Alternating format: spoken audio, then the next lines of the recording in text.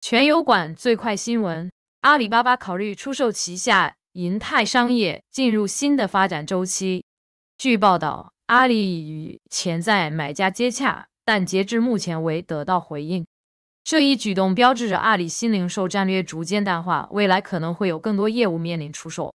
银泰曾是阿里重要的赌注，但在消费趋势扭转和特殊情况冲击下，并未达到预期的作用。因此，阿里重新评估了新零售的价值。此次出售银泰只是一个开始，阿里可能会出售其他非核心业务，以提升集团资产组合的价值。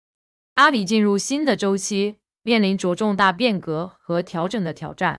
订阅新闻极速的最先知小天下事。